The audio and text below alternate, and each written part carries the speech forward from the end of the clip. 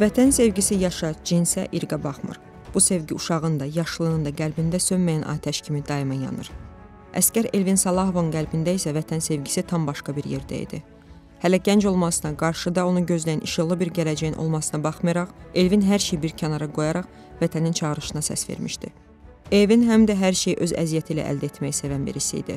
Ali məktəbə daxil olmasına baxmayaraq, ödənişli əsaslarla oxumaq istəməmiş və hərbi xidmətə yollanmışdı. Hərbi xidmətdən sonra hazırlaşıb ödənişsiz qəbul olacağam deyirdi. Xidmət etdiyi en sayılı hərbi hissədə dayanmamış, qısa müddət ərzində öz üzərində çalışmış və xüsusi təyinatlı qüvvələrə qəbul olmuşdu.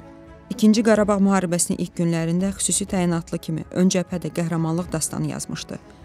Gözündə qorxu olmadan verilən bütün döyüş tapşırıqlarını yerinə yetirmiş, düşmənin qorxulu yuxusuna çevrilməyi bacarmışdı.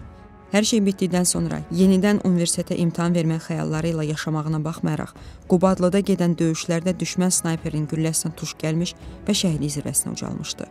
Füzulinin, Kəlbəcərin, Xocavəndin azad olunmasına görə medalları ilə, həmçinin cəsur döyüşçü, vətən uğrunda medalları ilə və Azərbaycan bayrağı ordeni ilə təltif olunmuşdu. Şəhid Elvin Salahov Badamdar qəbirstanlığında dəfn olunmuşdu.